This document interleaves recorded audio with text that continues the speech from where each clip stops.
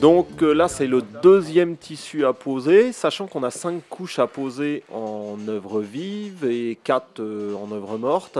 Nous, on est réglé en longueur. On a posé d'abord un unidirectionnel vert à 90 degrés, c'est-à-dire en travers du bateau, et là, on est en train de poser un bibiet à plus ou moins 45 degrés, c'est-à-dire qu'il y a des fibres à 45 degrés dans un sens, 45 dans l'autre. Euh, bah, il faut s'appliquer un peu, bon bien sûr pour pas avoir de bulles, mais surtout bah, ces fils ont été euh, calculés, échantillonnés euh, par l'architecte pour être posés à 45 degrés, donc il faut respecter ces angles de fil à chaque fois. C'est pour ça que c'est long à, poser un tissu, c'est pas jeté au hasard. Pour moi, c'était la corvée. Quoi.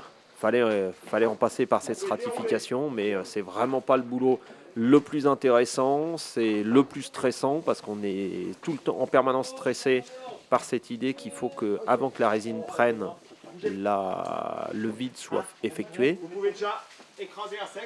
Et euh, en fait, on passe une journée à speeder, euh, pas le temps de s'arrêter, et il faut que ça soit euh, vite fait et quand même bien fait.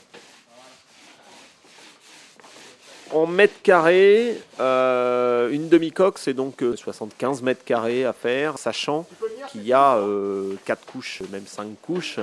Donc il y a 350 mètres carrés à étaler euh, dans la journée.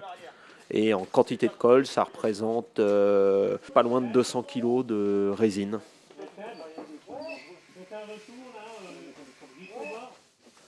Le dernier tissu, c'est un verre Kevlar. C'est ce tissu qui va être déroulé. Donc là, c'est un équilibré. Lui, il ne rentre pas dans le calcul de structure. Il est là uniquement pour la résistance à l'impact ponctuel. Pour éviter le déchirement et l'enfoncement ponctuel qui peut être provoqué par euh, un glaçon, un quai ou, ou tout autre objet flottant. La coque en elle-même, c'est 40 mm de bois dans différentes directions, plus euh, à peu près 3 mm de fibre, donc verre et euh, Kevlar euh, au final.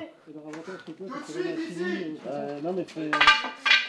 Là il est pas à 45 degrés. Ah, sinon Avec rouleau, avec rouleau. Ah. Derrière toi. Faut chasse-toi. Rouler parce que là, il colle pas. Euh, alors le Kevlar, c'est un enfer, c'est un produit super performant euh, pour ce qu'on demande, c'est-à-dire euh, la résistance à, à l'impact. Par contre, c'est un tissu qui est pas agréable du tout à travailler, très dur à découper. On ne sait jamais s'il est assez imprégné, s'il y a assez de résine dedans, on voit pas. Euh, et il faut qu'il soit très bien imprégné parce que c'est un tissu qui aime pas l'eau. Donc c'est quand même un peu gênant pour construire un bateau. Donc là, il faut, s'énerver un petit peu pour être sûr qu'il y ait bien la quantité de résine nécessaire.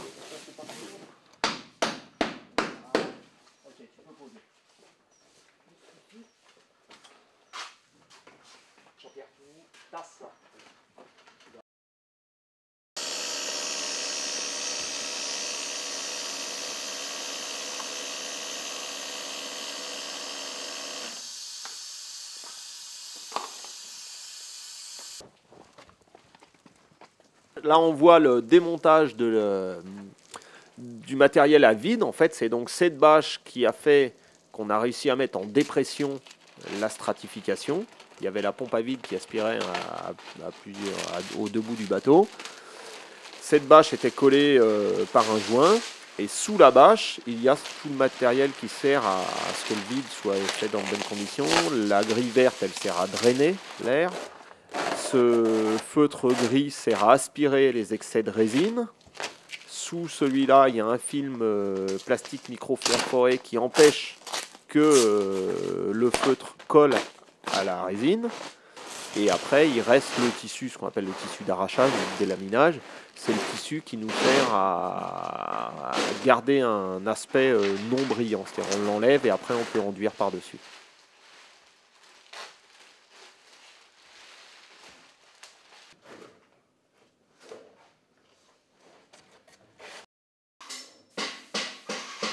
Par-dessus la strate, une fois qu'on a retiré le tissu euh, d'arrachage, on enduit. Alors là, on voit des enduits ponctuels. Ce sont les enduits qui servent à gommer justement les recouvrements de tissu, qui correspondent exactement aux grandes laies de tissu qu'on a posées d'un bout à l'autre. C'est un premier enduit, celui-là, pour gommer les plus grosses marches. Et ensuite, on imprègne euh, la première sous-couche, qui est un après-époxy, qui sert à faire une barrière d'étanchéité supplémentaire. C'est pas encore de la finition, hein, loin de là. Par-dessus ça, on réenduit au corps, on réapprête, on reponce et ainsi de suite. Concrètement, en heure, à ce stade-là, on en est à 7500 heures de travail. Fin de gros œuvre, à peine un tiers du- de ce qui est prévu.